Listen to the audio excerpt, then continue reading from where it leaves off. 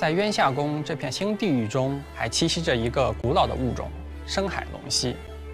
它们常年以群居的方式生活在漆黑的深水中，适应并且喜爱黑暗，是极其危险的掠食者。这些龙蜥极具威胁，当它们的特殊攻击命中目标时，还会吸收目标的能量，并且造成额外的伤害。目标的能量越低，则受到的伤害越高。受渊下宫独特的环境影响，有一些特殊的龙蜥个体进化得十分凶险狡诈。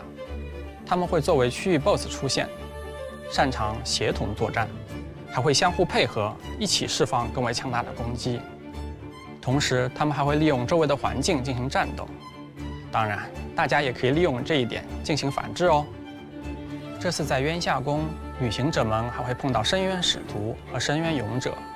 其中还有极具威胁的星勇者出场，他善于操纵火元素，如果被他的深渊地火击中，就会受到无视护盾的延迟爆发伤害，旅行者们可要小心了哟。一旦火深渊勇者进入二阶段，就会召唤火焰核心，借助核心释放更为强大的技能。当然了，对于身经百战的旅行者而言，只要在战斗中找到合适的对策，就能迅速的击败他。好了。